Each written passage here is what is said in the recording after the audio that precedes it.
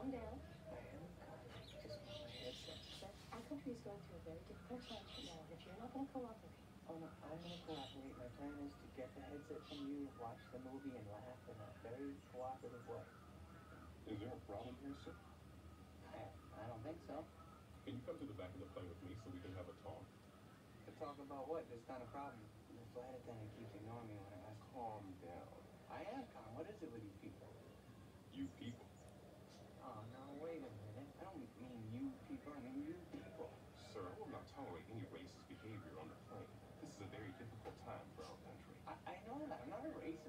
I'm only going to say this one more time. So